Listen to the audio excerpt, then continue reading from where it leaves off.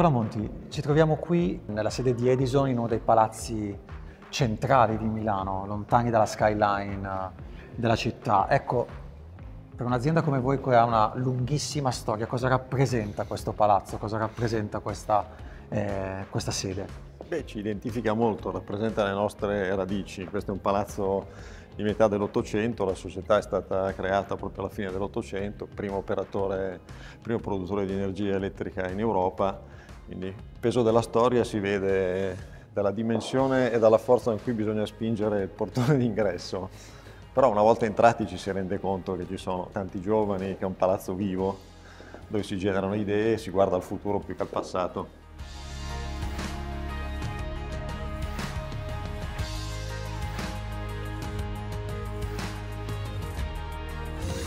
Prima domanda che devo fare, anzi la seconda ormai, la facciamo un po' diciamo a tutti i manager che stiamo intervistando in questa serie. Le chiedo di provare a chiudere gli occhi per 5 secondi, immaginare il futuro e dirmi cosa vede. Beh, è un futuro con poco rumore, forse senza rumore come dire, un ambiente che ci renda tutti un po' più tranquilli, un po' più sereni, un ambiente con più, con più luce. Questa è un po' la, la, visione, che ha a che vedere con tante cose, anche con l'energia, col modo in cui noi concepiamo l'energia e viviamo gli spazi comuni, le città. Una delle cose che, che impressionano quando uno vede ad esempio un'auto elettrica è che non fa rumore, quindi mi immagino un futuro, diciamo, quello che lei immagina di transizione rispetto alle fonti fossili, anche in ragione del fatto che, come si dice oggi, bisogna abbattere le emissioni di CO2 per combattere il riscaldamento globale. Come si fa la transizione energetica? Alcuni dicono puntare 100-100 sulle rinnovabili, altri dicono no, meglio diciamo, un mix con nucleare e idrogeno. Io credo che lei sia una delle persone più indicate a cui chiedere come si fa. Noi come società abbiamo un'interpretazione eh, più ampia del concetto di transizione. La transizione non si fa con la bacchetta magica, è una transizione che ha degli obiettivi di lungo termine, al 2050, l'obiettivo di, di cercare di annullare quelle che sono le emissioni complessive e lo si fa usando la tecnologia sicuramente, ma non c'è una ricetta, una soluzione unica. Dobbiamo sicuramente ridurre l'utilizzo di combustibili fossili che sono i principali responsabili delle, delle emissioni, quindi per chi fa produzione di energia elettrica, la produzione di energia elettrica è la prima responsabile delle, delle, emissioni, oggi per la maggior parte nel mondo si usano combustibili fossili. E abbiamo bisogno di cambiare questo mix. Il nucleare ci aiuterà, continueremo a utilizzare il gas per la transizione perché 30 anni o 25 anni di transizione non vuol dire cambiare dalla sera alla mattina il modo in cui produciamo e consumiamo, ma vuol dire fare un percorso, perché questo percorso ci deve permettere di continuare ad avere disponibilità di energia in modo continuativo e anche con un costo eh, che sia alla portata di tutti. Questo è un problema nostro come paesi occidentali sviluppati, ma anche abbiamo bisogno questo modello di applicarlo nei paesi che hanno un problema di carenza proprio strutturale di, di produzione, di fornitura di energia. L'energia è alla base dello sviluppo sociale, economico, industriale di un paese, quindi dobbiamo trovare delle soluzioni che siano applicabili a tutti. La tecnologia ci deve aiutare, non abbiamo tutte le soluzioni tecnologiche oggi disponibili, ne conosciamo alcune, le energie rinnovabili come il sole e il vento per produrre energia oggi sono già delle energie disponibili e sviluppate su scala industriale e quindi economiche e stiamo facendo tanti investimenti in tutto il mondo e anche noi in Italia in questa direzione, ma ci sono anche tante tecnologie nuove che devono ancora essere sviluppate, industrializzate e rese economiche. La produzione di idrogeno, per esempio, eh, l'eolico offshore, diverse tecnologie sulle batterie di accumulo per grandi scale, per le reti, il nuovo nucleare che oggi ha dei costi molto alti ma un obiettivo di, di, eh, di modelli innovativi fino a traguardare alla fusione nucleare che magari vedremo fra qualche decennio la cattura per esempio della, della, CO2 che ci potrebbe permettere di continuare a utilizzare combustibili fossili. Quindi abbiamo un panorama di soluzioni tecnologiche che devono essere tutte monitorate e tutte ci daranno un contributo durante il percorso di transizione. Alla fine di questo percorso, se saremo capaci di utilizzare bene la tecnologia e di industrializzare eh, quelle tecnologie che si dimostreranno più promettenti e più efficienti, beh, allora veramente arriveremo a un obiettivo di annullamento delle emissioni che non sarà solo a beneficio dei paesi ricchi che ci possono permettere di finanziare nuove tecnologie, nuove industrie, ma sarà un modello che riusciremo a esportare in tutto il mondo. Sì, anche perché lei parlava comunque di bacchetta magica che non esiste, le contraddizioni in questa diciamo, fase di transizione sono evidenti è finita da pochi mesi COP28, sono due dati che mi hanno colpito. Il primo è che le emissioni comunque stanno continuando ad aumentare su scala globale, su scala globale anziché sì. diminuire. Il secondo è che aumentano anche in ragione della nostra volontà di decarbonizzare. Un paese, l'Indonesia, nel 2023 ha visto crescere a dismisura il proprio consumo eh, di energia derivante dal carbone perché per estrarre il nickel che serve per fare le batterie elettriche per decarbonizzare. Com'è che si esce da questo paradosso? Si esce dove? Sicuramente le batterie ci serviranno per esempio per eh, la mobilità elettrica. Oggi la scelta tecnologica più evidente sembra quella di andare verso eh, un'industria automobilistica che, che prediliga le, le batterie. Poi trasporti sono vari, ci sono i trasporti pesanti, i trasporti aerei, quelli ferroviari, ecco lì le soluzioni non ci sono ancora, i trasporti marittimi per esempio. Però avremo sicuramente bisogno di batterie le batterie hanno dei componenti, alcuni dei quali per essere oggi prodotti ed estratti consumano ed emettono più di quanto poi andiamo a risparmiare utilizzando le auto elettriche. Quindi se facciamo un ciclo integrale, quello che si chiama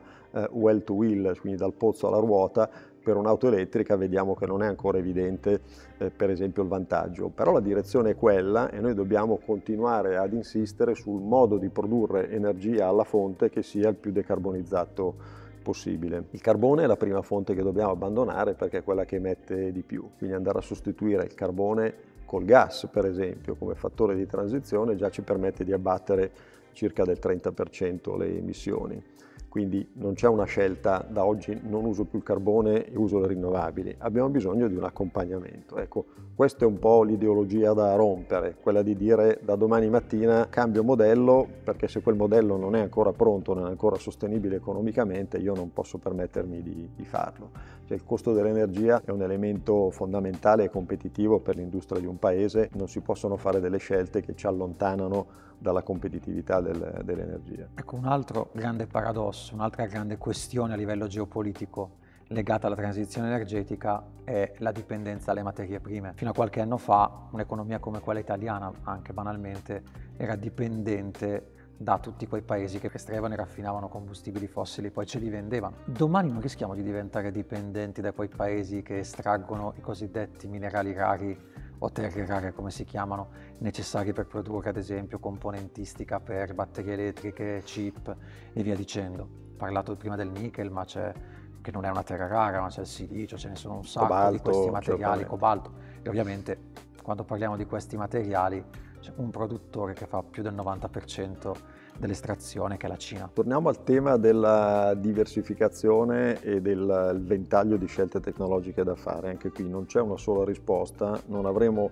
solo un mondo fatto da impianti fotovoltaici e batterie di accumulo, perché allora sposteremo la dipendenza per esempio sui materiali critici, sui materiali rari di cui quantomeno in Italia e in Europa siamo un po' poveri. Ma le scelte tecnologiche devono essere sulla produzione di energia varie quindi non solo stoccaggi elettrochimici per l'energia elettrica, ci sono i pompaggi per esempio e ci sono nuove tecnologie sulle batterie che sono le batterie a flusso che hanno bisogno di elementi differenti. Sono ancora batterie in fase prototipale, non sono ancora sviluppate industrialmente, ma probabilmente saranno quelle più efficienti per fare grandi stoccaggi a livello di rete, di rete elettrica. E poi ci sono le altre tecnologie. Il nucleare, io credo che un ritorno del nucleare o in particolare in Italia sia una scelta quasi obbligata perché abbiamo bisogno di energia che sia programmabile e decarbonizzata e le soluzioni sono o di continuare a utilizzare il gas andando a sequestrare poi la CO2 o utilizzare il nucleare. La tecnologia nucleare si è evoluta tantissimo negli ultimi decenni, quindi i ricordi che abbiamo che derivano da incidenti, io mi ricordo personalmente quello di Chernobyl, parliamo di tecnologie che sono totalmente sorpassate quindi bisogna sempre avere un, un, mix di soluzioni. È un po' il concetto del contadino che non mette mai tutte le uova nello stesso basket, nello stesso cestino, perché se cade si rompono. E bisogna diversificare le scelte tecnologiche. Questo genera più indipendenza energetica e genera più, più sicurezza di, di avere energia disponibile, ovviamente con energia decarbonizzata come obiettivo. Cito un dato che ho letto proprio sul vostro sito, in cui si dice che il 75% dell'energia che consumiamo la consumiamo nelle città, nelle grandi città. Quindi il tema della decarbonizzazione è anche un tema di trasformazione urbana.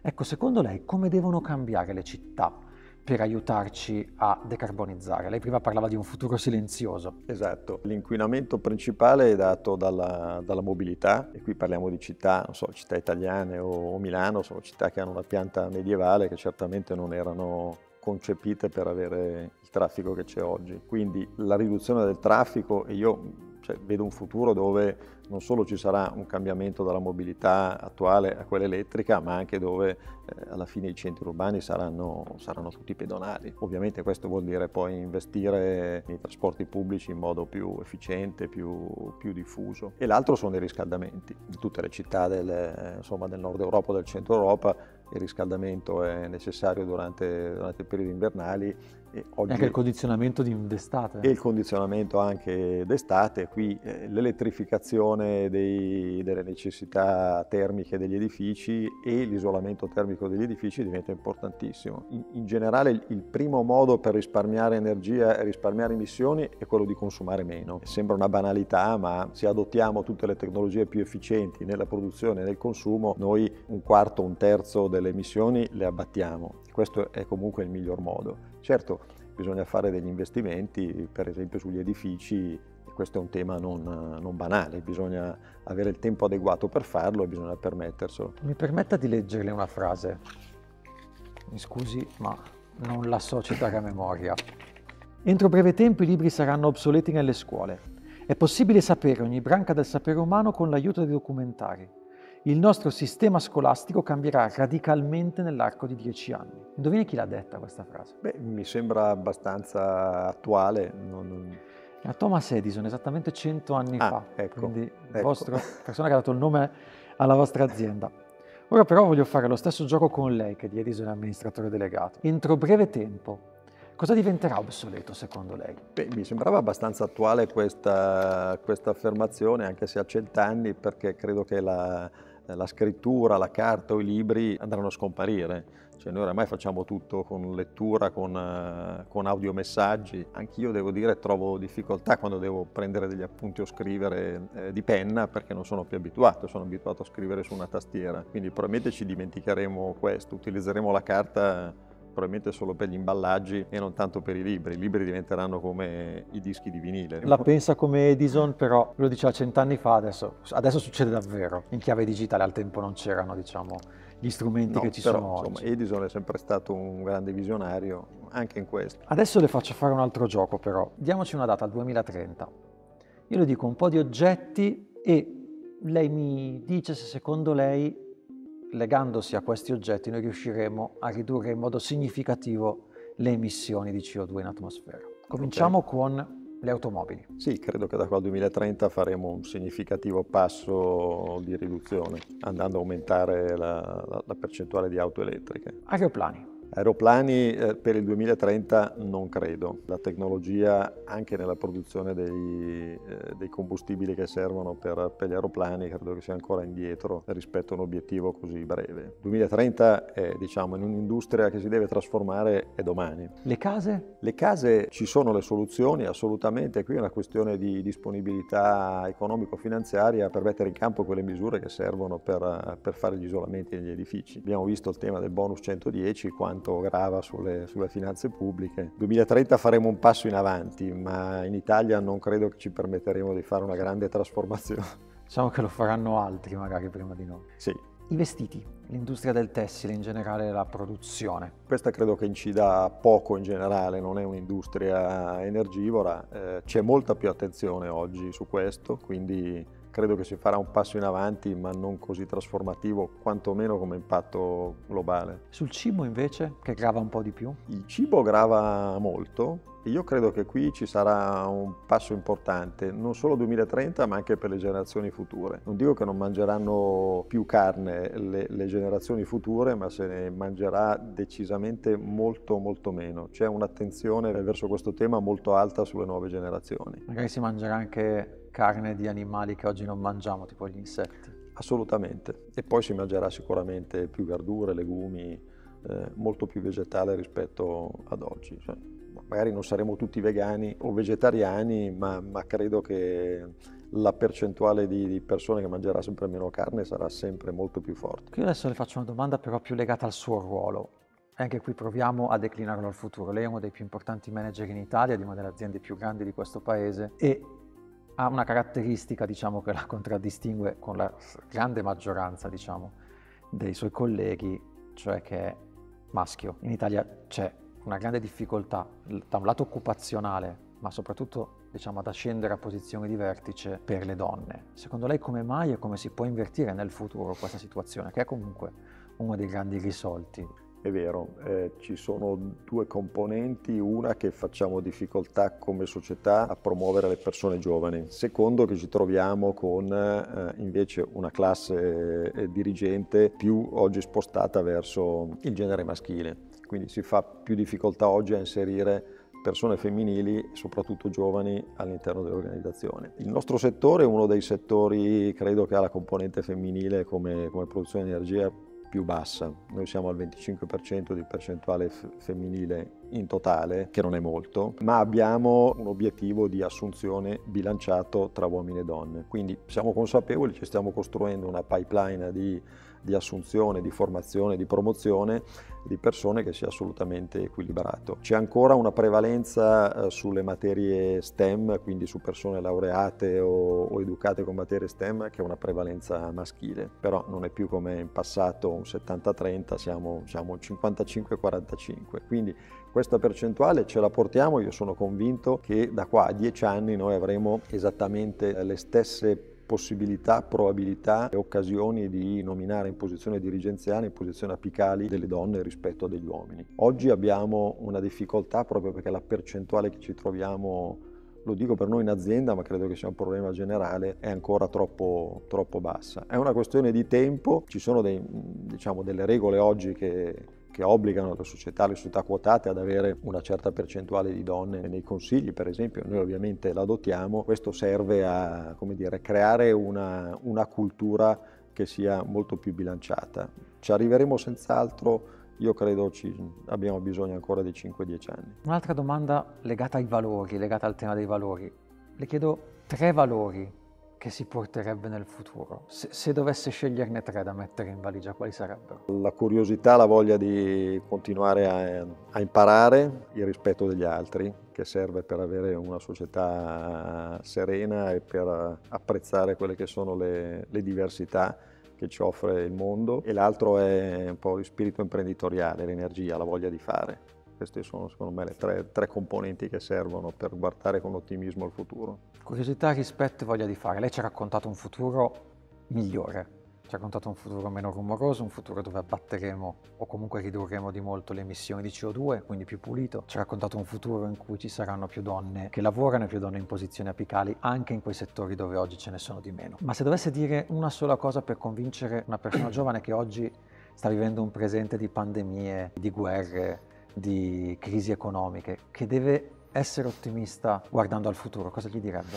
Beh, innanzitutto che ha la fortuna di essere giovane e quindi di poter guardare avanti con eh, serenità e con eh, quella caratteristica di iniziativa e di, di, visione, eh, di visione laterale che hanno, che hanno i giovani, quindi hanno quell'entusiasmo che serve. Noi abbiamo bisogno dei giovani perché il futuro sarà dei giovani, quindi curiosità, ancora una volta voglia di imparare e voglia, e voglia di fare. Ognuno deve essere eh, autore del proprio destino, bisogna avere la consapevolezza di avere questa energia, questa voglia di cambiare il mondo. Grazie mille. Grazie.